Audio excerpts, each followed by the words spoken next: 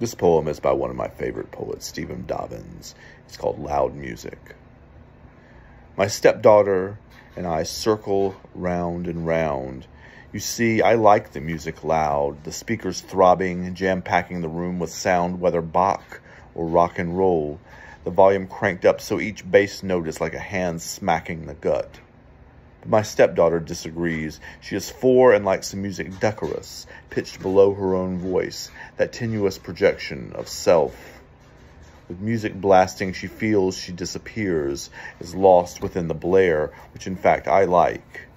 But at four, what she wants is self-location and uses her voice as a porpoise uses its sonar to find herself in all this space. If she had sort of a box with a peephole and looked inside, what she'd like to see would be herself standing there in her red pants, jacket, yellow plastic lunchbox, a proper subject for serious study. But me, if I raised the same box to my eye, I would wish to find the ocean on one of those days when wind and thick cloud make the water gray and restless, as if some creature brooded underneath a rocky coast with a road along the shore where someone like me was walking and has gone.